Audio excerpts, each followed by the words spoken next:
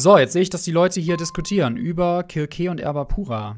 Genau, Kirke ist viel, viel süßer. Ich kann immer nur sagen, ja, weil die Frage kommt wirklich jedes Mal, äh, dass Kirke für mich echt von der Haltbarkeit her nicht gut war. Also ich weiß noch, ich habe den, als ich noch bei Douglas gearbeitet habe, einmal im, im Office getragen. Ja, von der DNA her sind beide Düfte schon, also haben beide so das, das Prädikat Nischenduft auf jeden Fall verdient, ja, gar keine Frage. Ähm, aber so von der Haltbarkeit her, wie gesagt, als ich noch bei Douglas gearbeitet habe, habe ich den, hab ich den Kirke noch mal getragen. Ich hatte ihn gerade halt von Douglas gekauft, weil wir den für einen Stream benutzt haben. Und dann habe ich ihn halt morgens aufgetragen. Ich habe wirklich mir gegönnt. Also, obwohl das ein süßer Duft ist, ich habe wirklich acht, neun Sprühstöße davon verwendet, weil ich einfach, ich habe vorher, habe ich den auf meiner Haut, auf meinem Handgelenk aufgesprüht, habe dran gerochen und fand es so, wow, voll nice. Habe mich dann wirklich damit gebadet und habe dann gemerkt, so, hm, also erstmal geile DNA so, hat auch zwei Stunden gehalten und dann irgendwann war ist der halt straight nach unten gegangen und ich habe nichts mehr gerochen. Und dann war ich halt, äh, was heißt schon nicht mehr bei Douglas? Nee, ich bin da, hab da gekündigt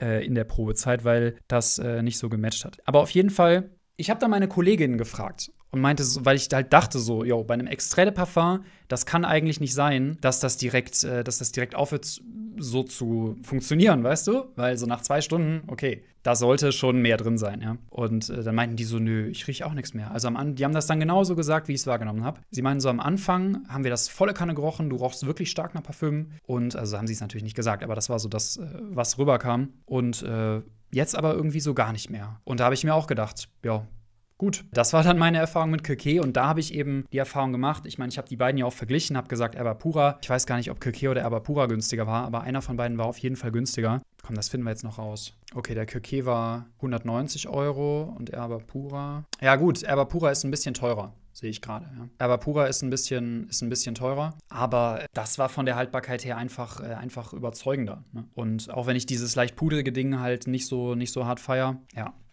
äh, das war für mich einfach jetzt so ein K.O.-Kriterium.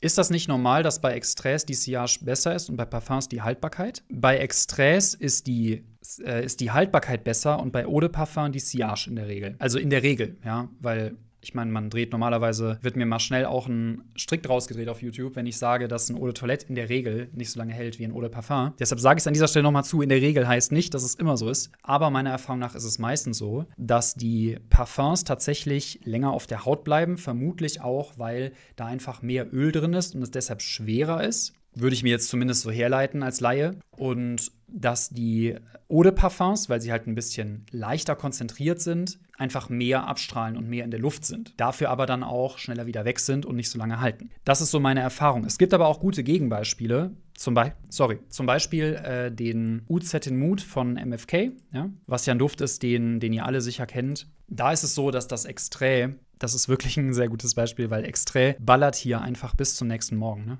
Eine Sillage 9,3. Und das ist jetzt ein Gegenbeispiel, wo die Wolke, die du um dich herumziehst und die äh, Haltbarkeit beides beim Extrait de Parfum besser ist als beim Eau de Parfum. Wobei das Eau de Parfum auch dem Ganzen jetzt nicht in so viel nachzustehen scheint. Ich fand den Unterschied deutlicher, muss ich sagen. Aber gut, das kann ja jeder irgendwie, das kann ja jeder irgendwie so für sich auch entscheiden dann. Aber ich kann sagen, Extrait ist einfach, ist einfach King, was das angeht. Und ja, und es ist so für mich auch, dass äh, Eau de Toilette tatsächlich die meisten Eau de Toilettes, die man so kaufen kann, eben in der Parfümerie halten für mich einfach nicht gut. Bei so Sachen wie Andy Tower ist es anders, deshalb ich habe ja letztes Mal im Stream auch über ihn gesprochen und dass ich seine Düfte extrem feier oder vorletztes Mal im Stream, weil der einfach, der macht e extreme Parfum hier. Eau Toilette Intense, glaube ich, heißt es. Oder auch bei Aqua di Parma teilweise. Die halten deutlich besser. Und das ist, äh, das ist schon sehr krass. Aber das ist wirklich eher die Ausnahme meiner Erfahrung nach, weil ja, Eau de Toilette normalerweise einfach das ist halt wirklich nur so mal zum Erfrischen, finde ich, morgens. Und dann ist es nach der Hälfte vom Tag schon weg. Und deshalb, ich bin inzwischen auf dem Trip, ich benutze nur noch Eau de Parfum oder Extrait. Und ja, ist halt, ist halt einfach so eine, Grundsatz, so eine Grundsatzentscheidung, denke ich.